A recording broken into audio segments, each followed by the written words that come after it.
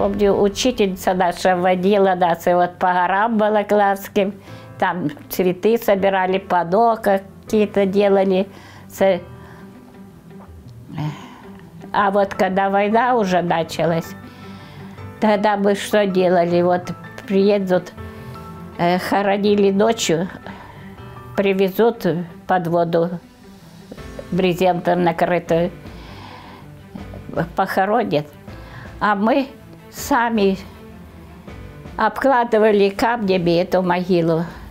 Научились брать, вот флюсы были балаклавские, э, сами э, грели эти камни, превращали в, в звездку, и эти камни все белым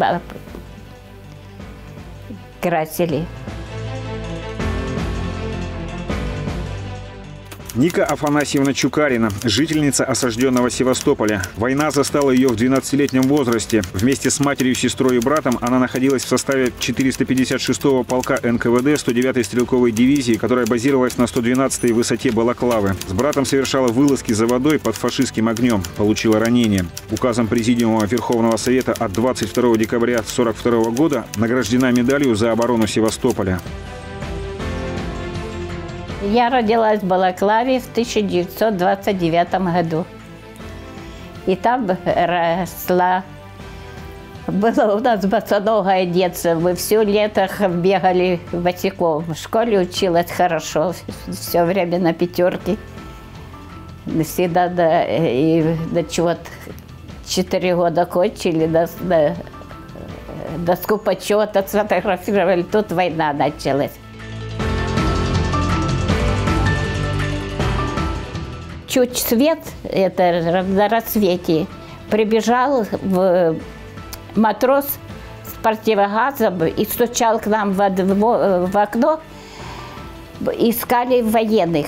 А военный у нас там Мичман жил рядом. Ну и я как раз это ему сказала, что ну, мы не знали, что эта война началась. Ну а когда уже рассвело, то э, тогда не было ни телевизоров, ни это. А на площади висел э, черный вот этот репродуктор.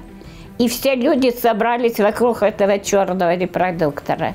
И тогда э, объявили, что вероломно напала Германия на Советский Союз. Мужчин ушли все, ну как, с котомками из Балаклавы направили, я не знаю, уже все Севастополь. А нас, вот женщины, старики, мы стали врыть окопы. Ждали немцев вот со стороны Кадыковки.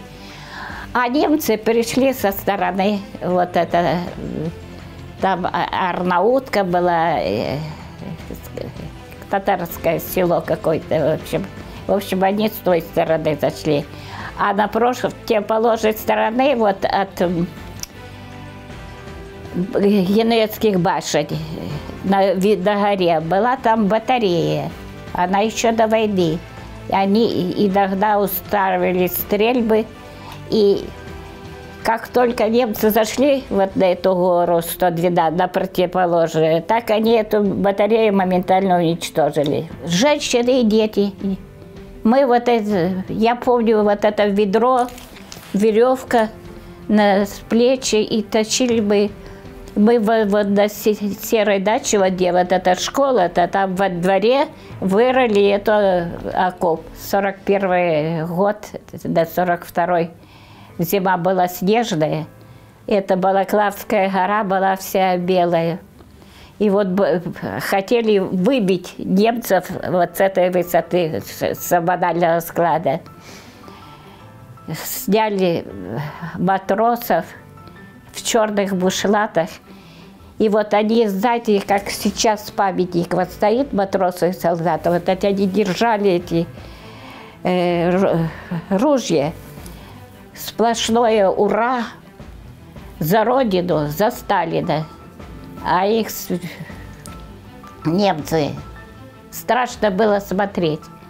Потом их, когда перебили, привязывали к ноге, причем не знаю почему, всегда к одной ноге, веревку вот такую И с этой горы стаскивали там во двор один, как-то мы ходили.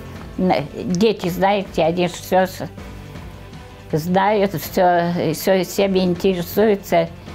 Притащили вот так вот положили во дворе, и одного без головы даже. Я носила в ведрах, а брат запрягался э, в оглобли вместо лошади. И он возил воду в бочках. Вот когда несла воду, снайпер как, я тут же и упала.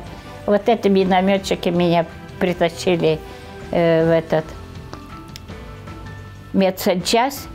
А тут посмотрели, перевязку сделали. Решили, что, наверное, раздроблено окончательно. И придется это ампутировать нижнюю.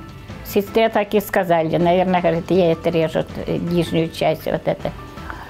А я, слушайте, услышала там, у кого ампутируют, и это в госпитале уже все Севастополе кричат, ой, моя да, пяточка, да почешите мою пяточку, да почешите мои э, пальчики.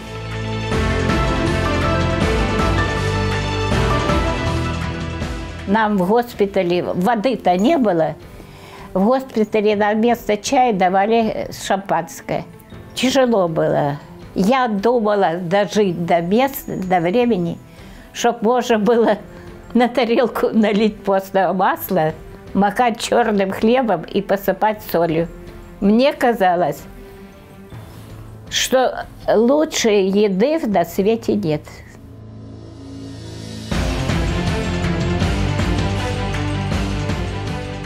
На 9 мая мы из Балаклавы шли пешком вот по этому, э, это на, там был э, устроен как, ну что это митинг, в общем, рады были все, обнимались.